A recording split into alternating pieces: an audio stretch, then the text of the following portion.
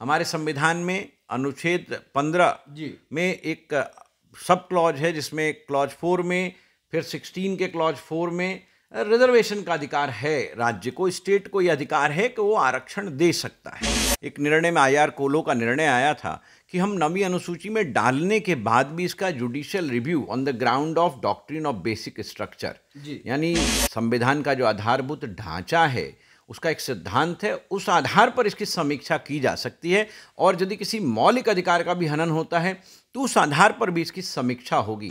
तो नवी अनुसूची में डालने से भी ये नहीं हो जाएगा कि बिल्कुल लॉ ना न्यायिक समीक्षा के परे चला जाएगा। तो इसलिए वो इस बात को नहीं मानेगी कि नवी अनुसूची में डालने के बाद बिल, बिल्कुल न्यायिक समीक्षा के परे चला जाएगा। तो मेरे ख्याल से बिहार सरकार, बिहार की राज्य सरकार की समस्या बनी रहेगी।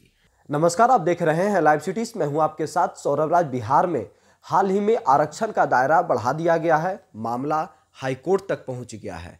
लेकिन बिहार सरकार ने इस मामले को, इस जो आरक्षण बढ़ाया गया है, उस मामले को केंद्र सरकार के पास भेजी है कि इसे नौवीं अनुसूची में डाला जाए, संविधान के नौवीं अनुसूची में। इसके ऊपर बात करने के लिए कानून के जानकार आलोक कुमार रंजन है। इनसे बात करेंगे कि आखिर संविधान की नौवीं अनुसूची क्या है। आखिर नीतीश कुमार इस आरक्षण जो बढ़ाया गया, इसे नौवीं अनुसूची में क्यों डालना चाहते हैं? बिहार में जो आरक्षण का दायरा सर बढ़ाया गया है, पचास से पैंसठ परसेंट हो गया है, प्लस दस परसेंट डब्ल्यू एस और इसे नौवीं अनुसूची में डालने के लिए नीतीश कुमार केंद्र सरकार के पास भेजे हैं। देखिए नवी अनुसूची संविधान में संविधान संशोधन के द्वारा पहले संविधान संशोधन के द्वारा डाला गया था। जी। नवी अनुसूची एक ऐसी व्यवस्था है जिसके तहत यदि किसी विधि को नवी अनुसूची में डाला जाता है तो वो न्यायिक समीक्षा के परे हो जाता है। हालाँकि इस पर भी एक वाद आया बाद में जिसमें सुप्रीम कोर्ट ने स्पष्ट कर दिया कि देखिए नवी अनुसूची में डालने से आपका काम समाप्त नहीं हो जाता। उसने स्पष्ट कर दिया एक निर्णय में आई आर कोलो का निर्णय आया था कि हम नवी अनुसूची में डालने के बाद भी इसका judicial review on the ground of doctrine of basic structure यानी संविधान का जो आधारभूत ढांचा है उसका एक सिद्धांत है उस आधार पर इसकी समीक्षा की जा सकती है और यदि किसी मौलिक अधिकार का भी हनन होता है तो उस आधार पर भी इसकी समीक्षा होगी।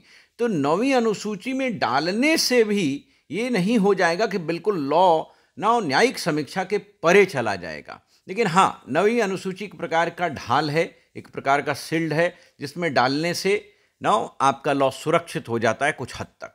लेकिन नीतीश कुमार ने जिस प्रस्ताव को केंद्र सरकार के पास भेजा है क्या केंद्र सरकार मान लेगी उस प्रस्ताव को? देखिए ये कहना तो अभी बिल्कुल ही स्पष्ट नहीं हो पाएगा कि केंद्र सरकार ये तो उसका निर्णय होगा।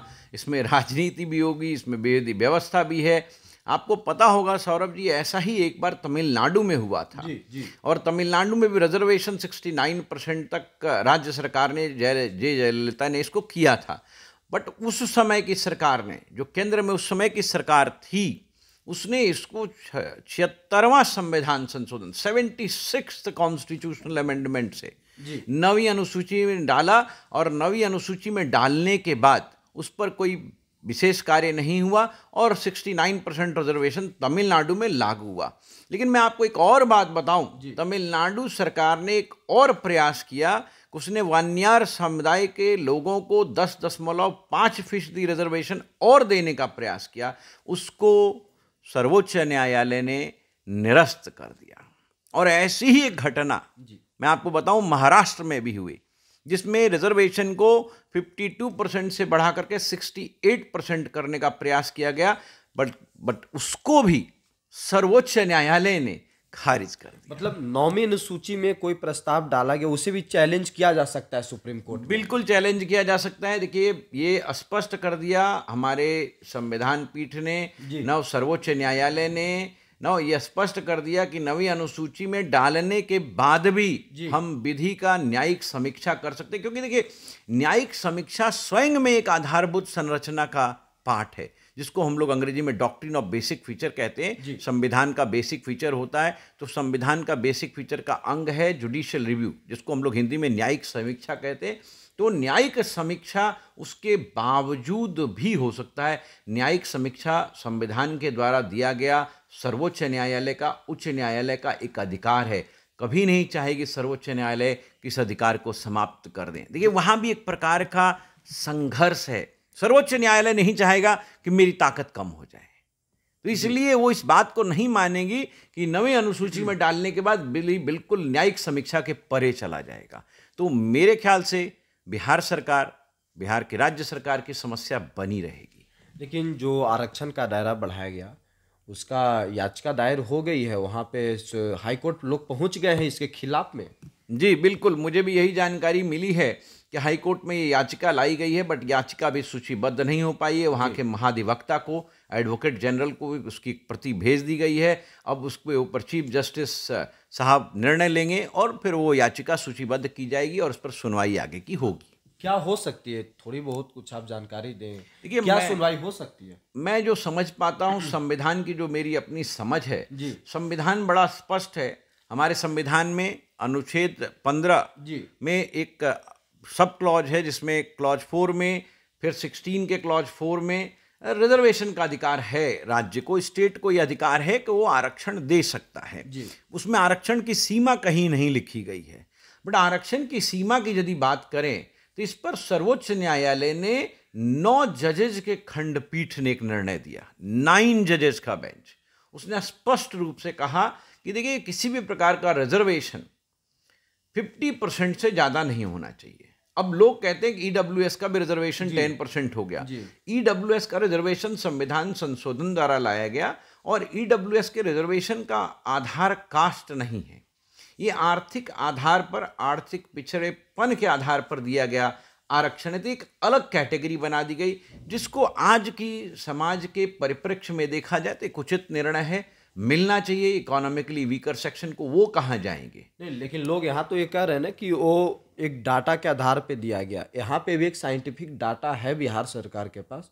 उसके आधार पे ये आरक्षण बढ़ाई गई।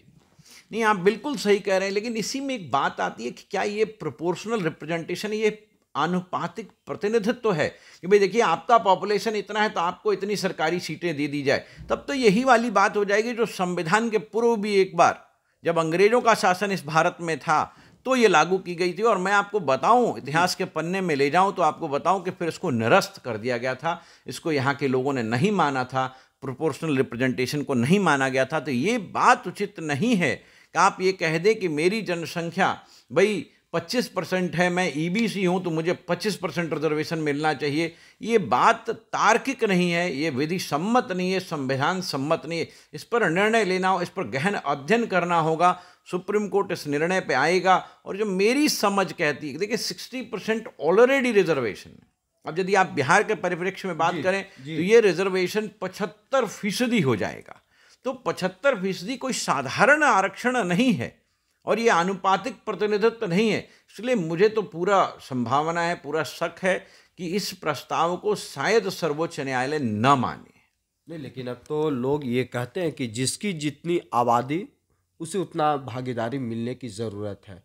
मतलब ये क्या समय के हिसाब से समय की मांग है ये? देखिए इस प्रकार से समाज संगठित नहीं हो पाएगा। आप लोगों को उसके रिजर्वेशन में उसके प्रोपोर्शन में बांट रहे हैं। ये समाज सबका है ये देश सबका है। जहाँ तक बात पिछड़े लोगों को आरक्षण देने का था तो हमने संविधान जब बनाया तब से आज तक आरक्षण चला आ रहा है। वो भी हमारे भाई बहन हैं उनको आरक्षण मिलना चाहिए मिलता रहा है।